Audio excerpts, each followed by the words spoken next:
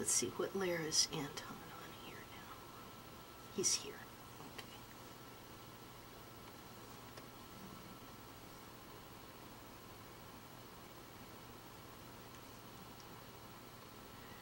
This is a uh, particular facial expression that I'm giving extra attention to because um,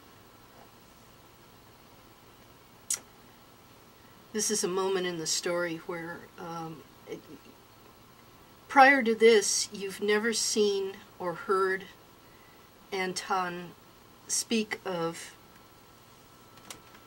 his feelings about Stefan one way or another. Uh, you've only been able to judge how he feels or doesn't feel based on his actions.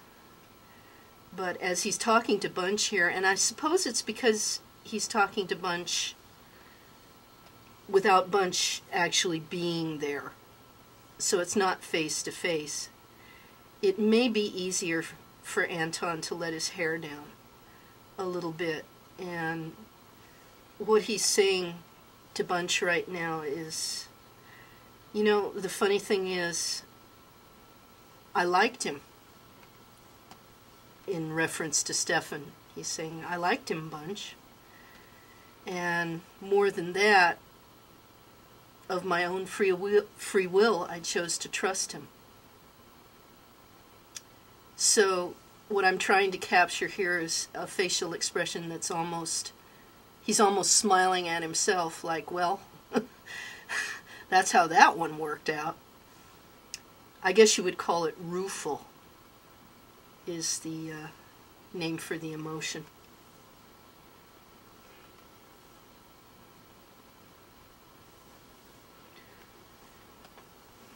So I didn't want to give him a sad expression or an angry expression. I wanted to show him almost almost as if he could be laughing at himself a little bit.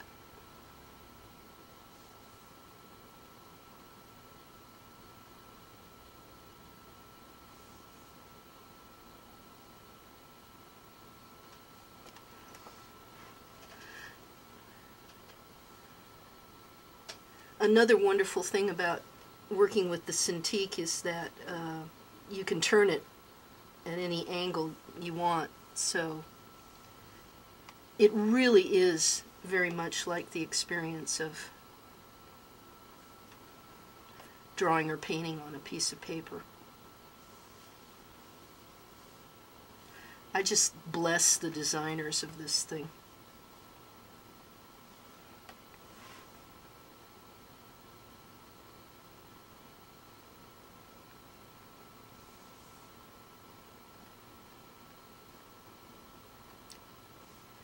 There are certain facial expressions that I'm really finicky about capturing.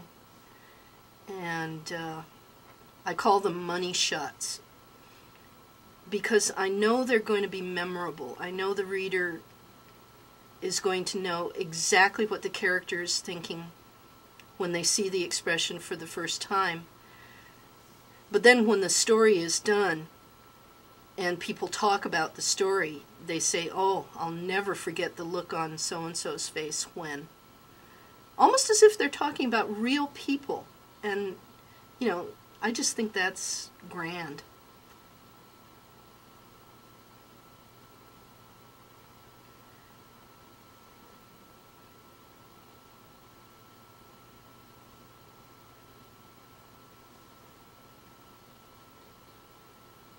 And again, in general, women readers tend to pick up on that sort of thing a lot more intensely than, than male readers will. Um, male readers do pay attention to facial expression too, but women especially look for it. I you know, there's something about it that really satisfies them.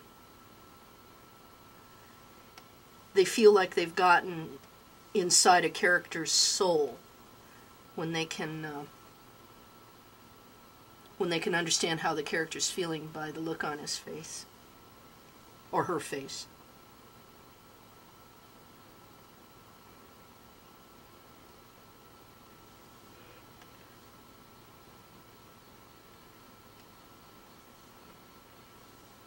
Anton is just a gorgeous character. He's just, I'm completely nuts about him.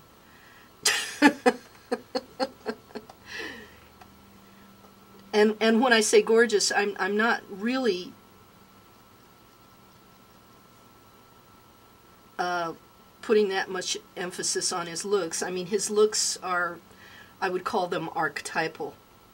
You know, the uh, the Byronic, uh, sexy, dark, um, gaunt, uh, always a little bit hungry looking kind of a character, a little bit dangerous. I mean, goodness knows that is that is a cliche. I mean, there's no two ways about it. So of course Anton's a cliche, but I like giving him you know subtle little things that that you might not necessarily think would be consistent with the cliche. Um, certain little smiles, like at one point in the story, Stefan describes him as having this bright little smile like a naughty child's. And he does have that. He's, you know, there's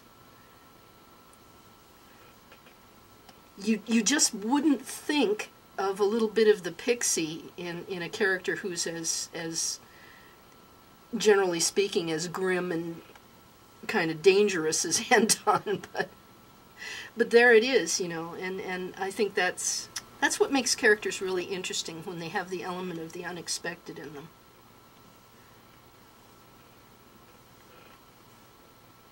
So like I said, there there are certain facial expressions that I spend a lot of time on. Uh, and uh, I know when they're done, when, when they hit me just right, when I can look at the character and say, okay, his thoughts are now in his eyes. There's, there's a moment when that happens. I can't tell you when that moment happens, and I don't think I would ever be able to teach it. And it, it could mean uh, the moving of a fraction of an inch. I mean, just as we've been talking, and I've been working on the character for the past few minutes here, I've been holding in my mind the words he's saying and just doing everything that I know how to do to um, solidify his sort of self-mocking thoughts in the expression. And people are going to see that and they're going to immediately recognize the the the combination of emotions that's under all that.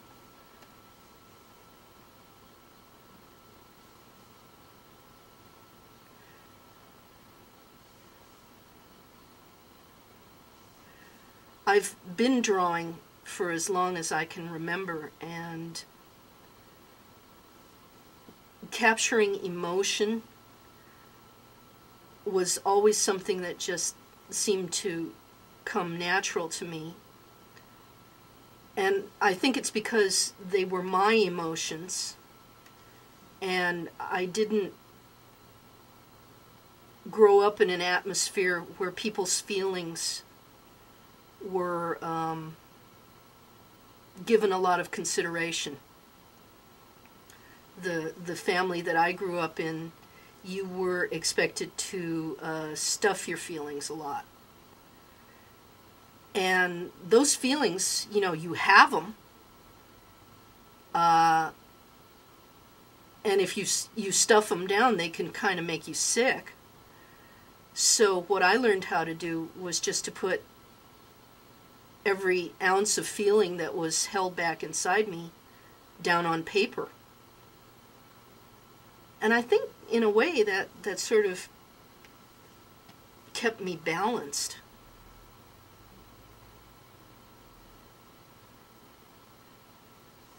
I didn't turn to violence and drugs as a teenager because I had my work and, and there was something so satisfying about it.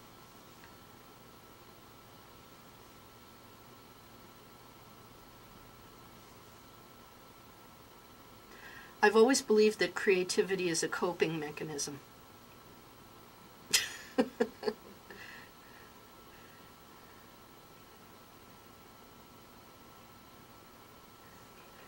great inspiration can be inside one, and, and one derives inspiration from all kinds of sources.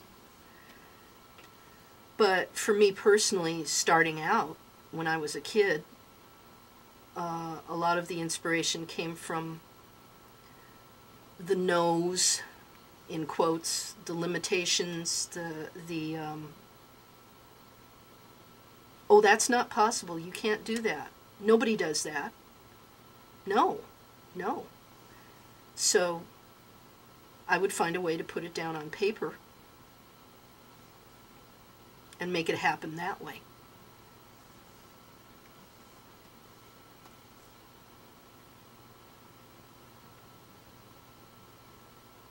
And if I couldn't express a feeling,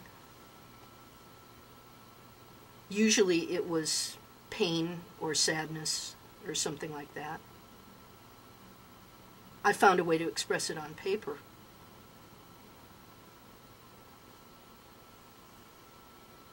Every part of a drawing, when you're drawing a human being, and especially when you're drawing comics and you're you're drawing human beings in the midst activity, every part of the drawing contributes to giving information to the reader. Uh, you can give the readers so much information in so many layers. Uh, some of it comes from the dialogue, some of it comes from the color, some of it comes from your use of light and shadow. Now see what I'm doing here is I, I was dissatisfied with how thick Anton's hand was down on the bottom there because he's he's a very he's a slender guy and I want to pay attention to always keeping him angular. So I I moved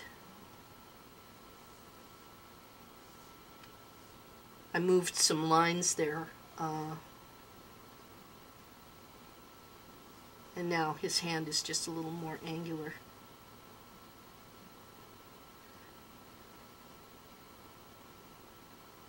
I'm just continually amazed at, at how forgiving the uh, use of the Cintiq and Photoshop is.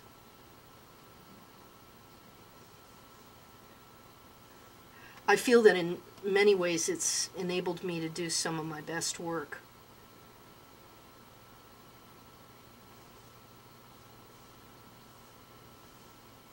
I like to say that ElfQuest is my um, ElfQuest is my life's work. It's my it's my mission statement. It's the it's the why I'm here project.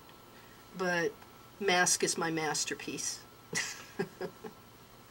and I didn't really know there was a, a difference until I had this experience.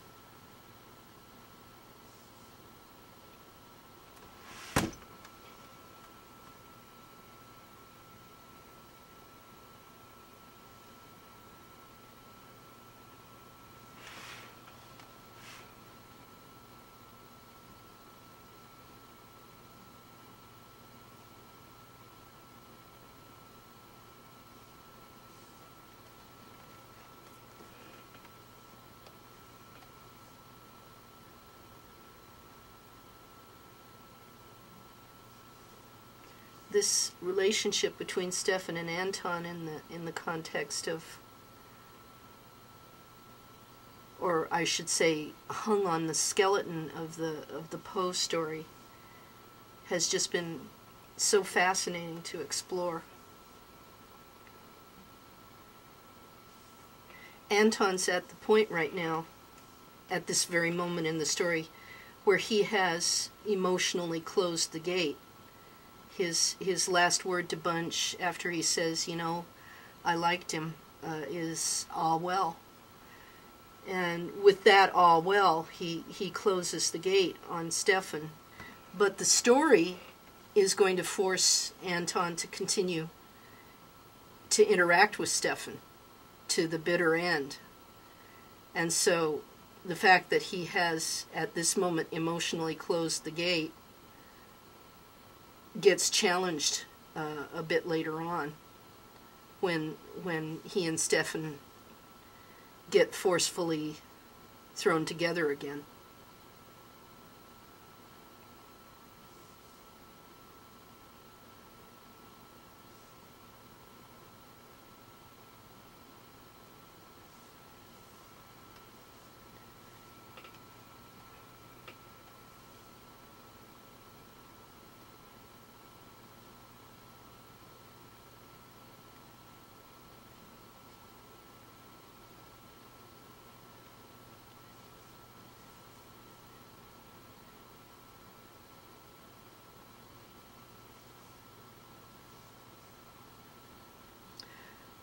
Another major influence on me, and I and I never talk about him as as often as I should, uh, was the uh, the great graphic artist uh, Eyvind Earle, um, and just about everybody knows his work from um, Disney's Sleeping Beauty.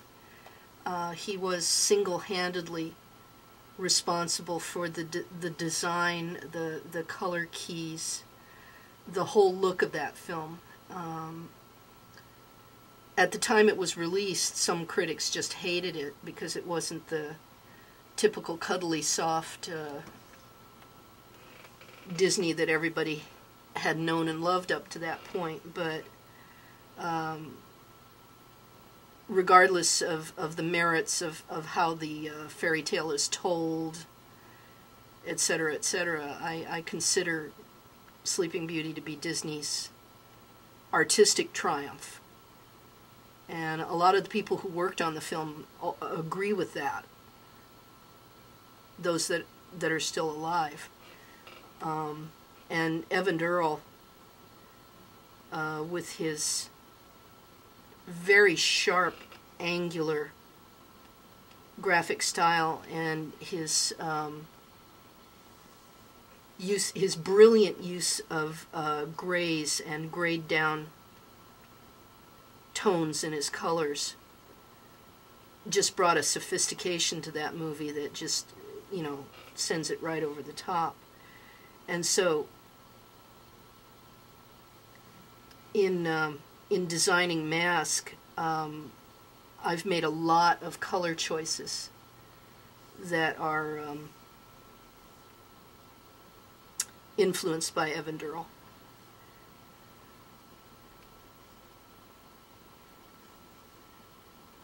I'm making a lot more use of grays and grayed tones in Masque than I normally would when I'm coloring ElfQuest because ElfQuest is in many ways a very bright, light-filled fantasy world and, and Masque of course is Poe and uh, has a lot of grim elements, and so the choice of colors reflects that.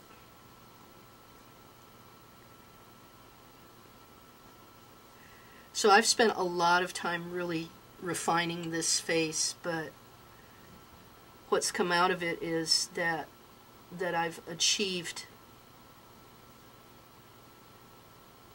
a facial expression that in the context of the story I think is going to be very memorable. People are going to look at that and say, I know what he's thinking, I know how he feels. So now I'll just finish off the collar of this fabulous trench coat.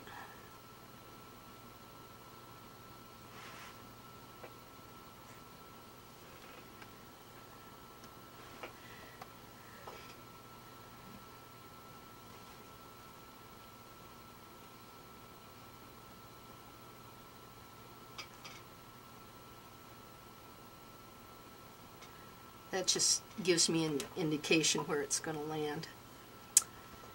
And I'll put the finishing touches on uh, when the when the rest of the page is completely designed. But for now, there.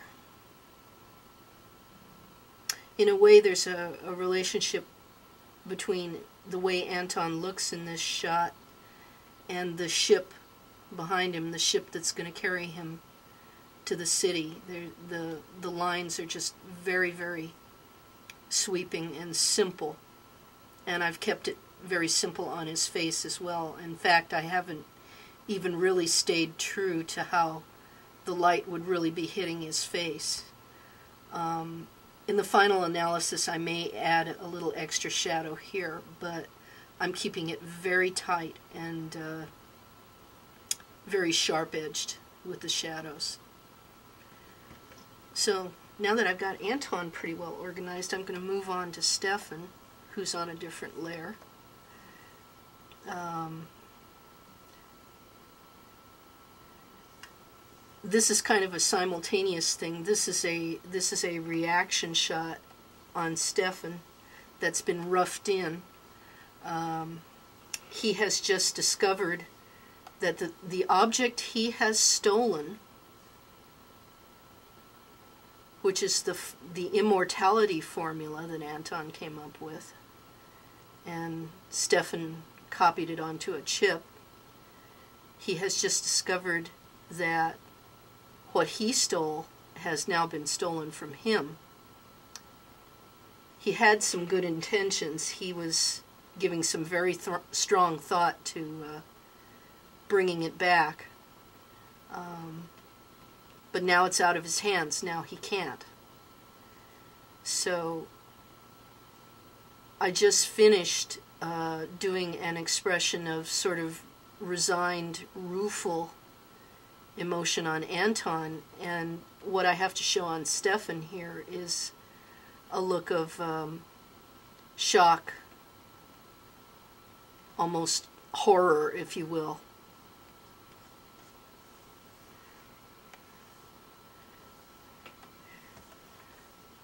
And this is a panel where there's no dialogue at all. Um, this is a panel that's taking place simultaneously as Anton is talking.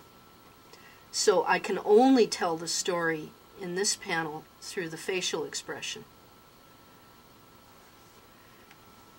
So the reader has to be able to look at this and realize that Stefan has just rifled through his pants pocket and has just realized to his horror that the chip is missing.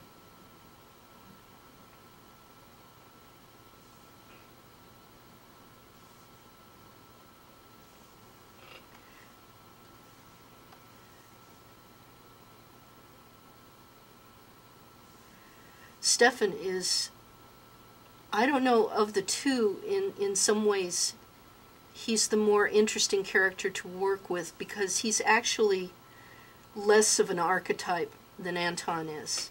Um,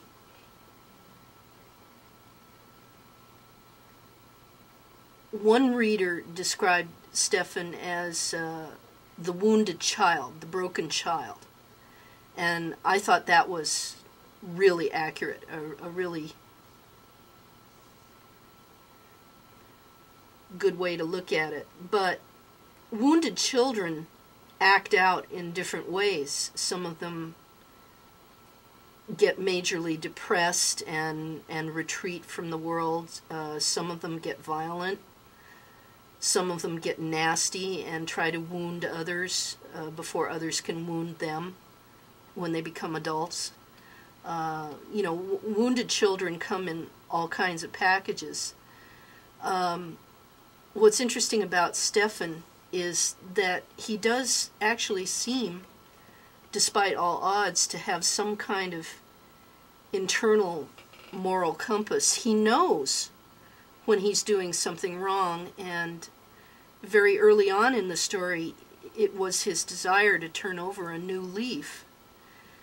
And a lot of the reason for that was was his deep and passionate obsession with Anton.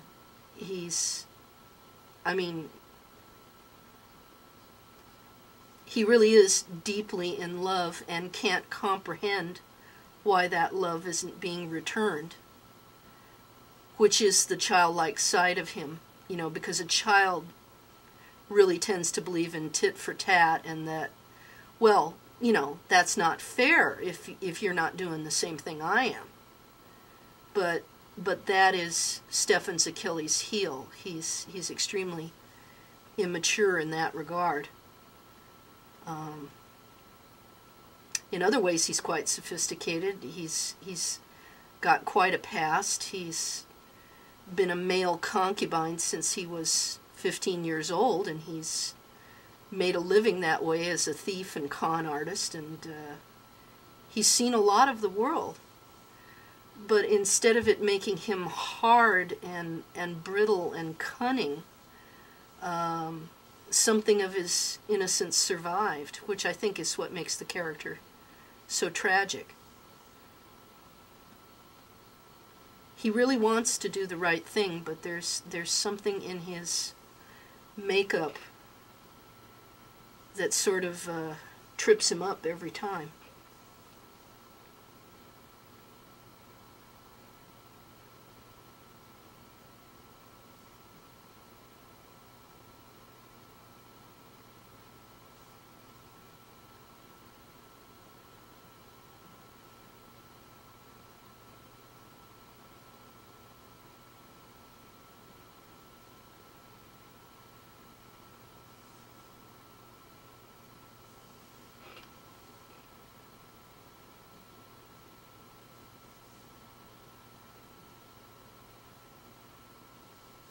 I was just thinking that the very first, oh, I guess you could call it novella I ever wrote was in high school when I was around 16 years old. And it was, it had a, a gay protagonist. And it was a uh, science fiction story about an astronaut who is part of a group of miners that goes to various planets to mine ore. And uh, on this particular planet, uh, the, the miners discover a group of aliens living there that, that are these rather beautiful, sort of winged, bat-like humanoid aliens. And the the lead character, the the gay astronaut, falls in love with the leader of the aliens who just doesn't get it. You know, not only is he not human, he's not gay. So he doesn't get it. And the whole story is about the astronaut's frustration at not being able to communicate with the alien and also trying to save them and their society from the miners coming and just destroying their environment. And it has a tragic ending. Things don't work out well. But I, but I was thinking that, you know, uh, maybe there is a little bit of that long ago character in Stefan who who tries to communicate his feelings and is frustrated and, and surprised and hurt and all kinds of different emotions when when those feelings aren't returned it's exactly as he expects.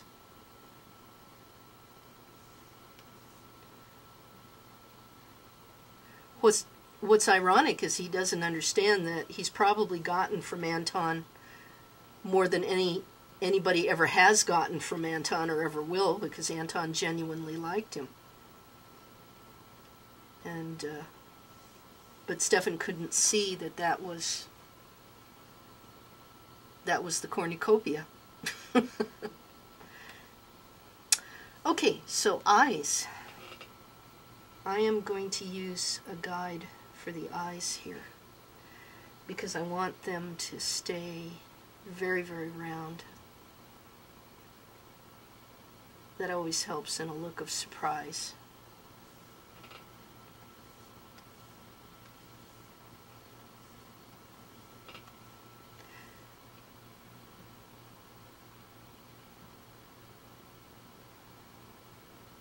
Stefan has green eyes, and, and I freely admit that that is a uh, tip of the hat to the fact that, that the uh, note he hits the strongest in the story is jealousy. so he's he's got the green-eyed monster going on.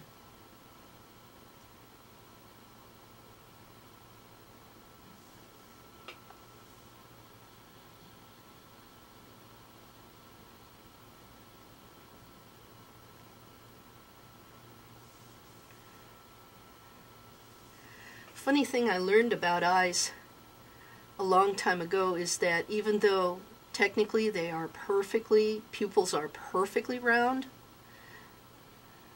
they shouldn't hardly ever be drawn that way.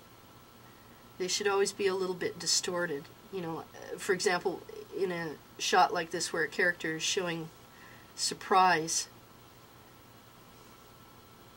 almost perfectly round, but just little, a little off, a little stretched, makes the emotion of surprise seem more intense.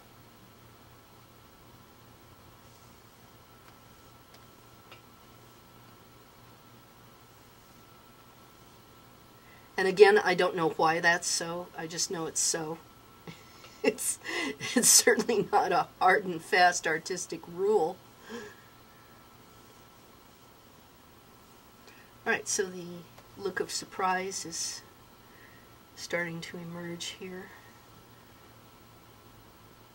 And the highlights are very important because it really tells you what direction the eye is looking in.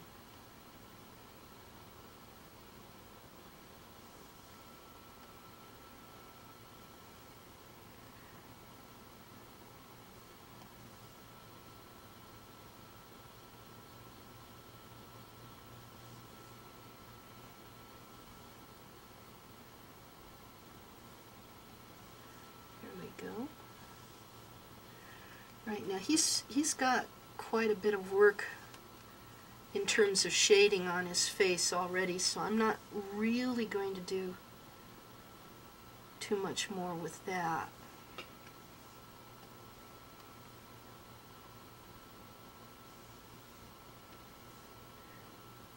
When I rough a character in, very often I'll put the shading and shadows in rather in a rather finished mode and and uh, then finishing off the character very often is just a matter of placing the line work that tightens it up.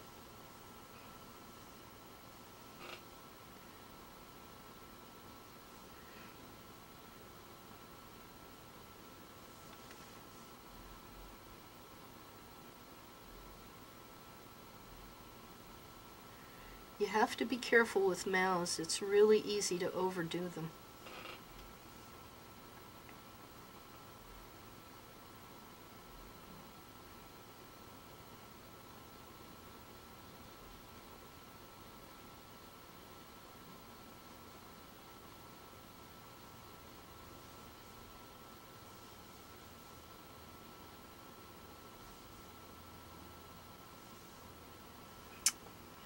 Now, at this point, I'm going to try something that I may not like, so I will save what I've got and go back through history if I don't like it. But I'm going to try opening his mouth a little bit because that too contributes to the expression of surprise.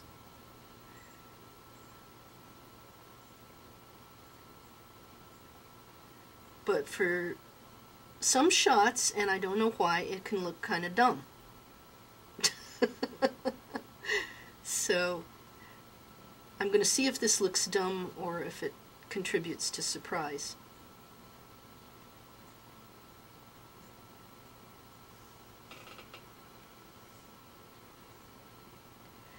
And I actually kind of like what I'm seeing.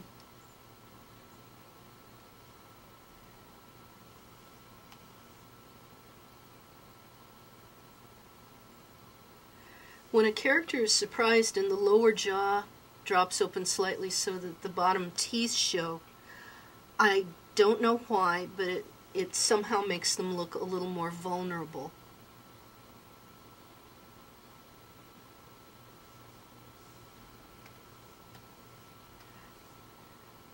I remember a group of British archaeologists did a test like that in the Amazon, they were they were actually trying to find out if human facial expression was universal. So they had a bunch of photographs with them of different human facial expressions: fear, joy, uh, hate, love. Uh, you know, just a whole bunch of stuff. And they went out into the Amazon and they encountered a tribe, primitive tribe there, uh, that they were able to communicate with. And, and they sat down and, and showed these pictures one by one and said, Do you know what is this person feeling? And they asked them to tell a story about the picture. So when when they showed him a picture like this with a person with an expression like this, one guy said, "Oh, um, he is being chased by a big cat." Uh, and and in other words, all the stories that they came up with were fear, the, that the guy is afraid of something. So the conclusion that the archaeologists came to is that human beings are hardwired uh, pan culturally to recognize certain facial expressions and be able to name them specifically. Um, I suppose that's a very good argument for why the human race ought to be able to get along. you know, because there are certain things that, you know, no matter whether we are headhunters or kabuki dancers, we have in common.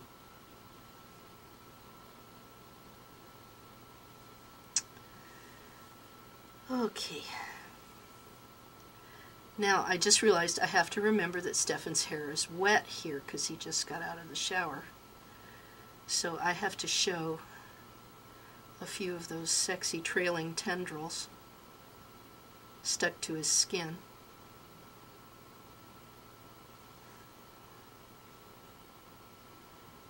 Which nobody is going to uh,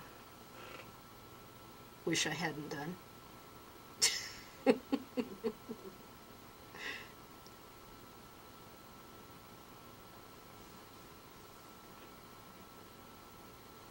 It's very, very interesting to come up with a character that others consider to be eye candy because of necessity, a character like that usually has very regular features that, that fall into the category of, you know, well, someone would call it beautiful.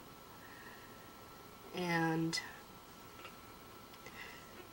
beauty without character can be really vapid.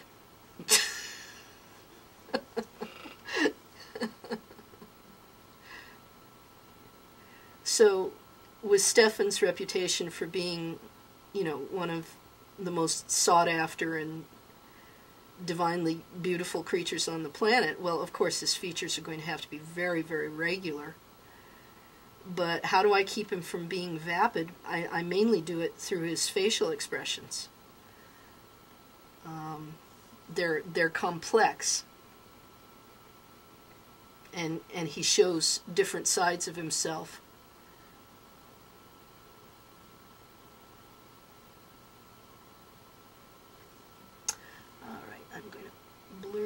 just a little.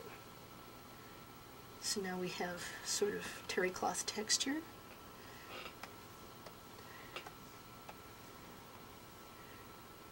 Now this is a very, very simply, cartoonishly drawn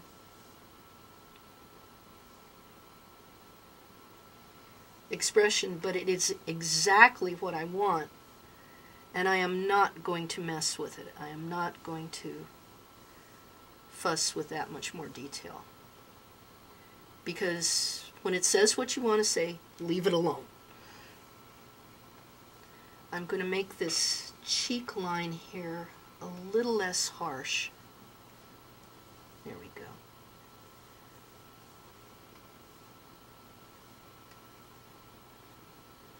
Just soften that a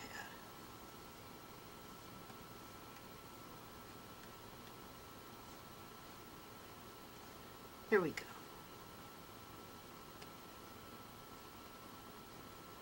That won't be so jarring now. Oh yeah. So this so this expression is equally as graphic as Anton's in its way, but it's an entirely different emotion.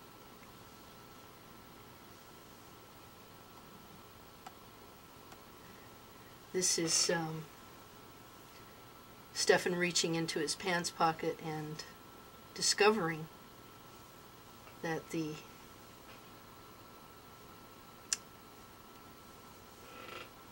chip is no longer there. But I remember looking at this a couple of days ago and being dissatisfied with where the knuckle was. So I'm just going to move that up.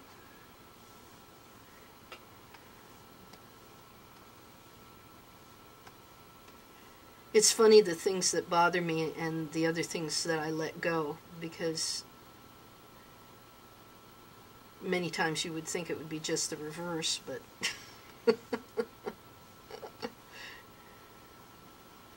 there are just certain little things I can't let go.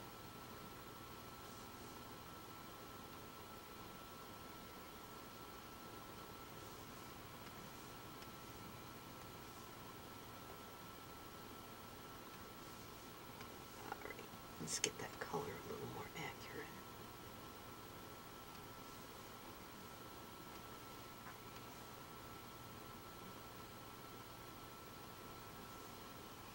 Mm-hmm.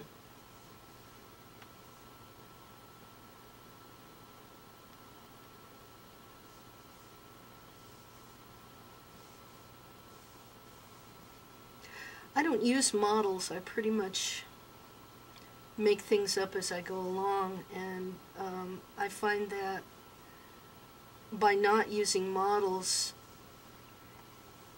regardless of how accurate the artwork is or the anatomy is, it, it has sort of its own integrity.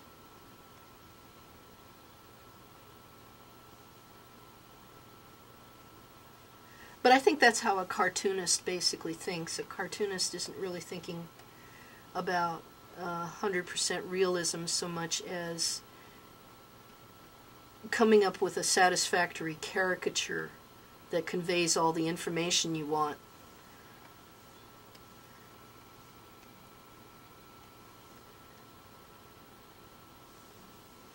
All right.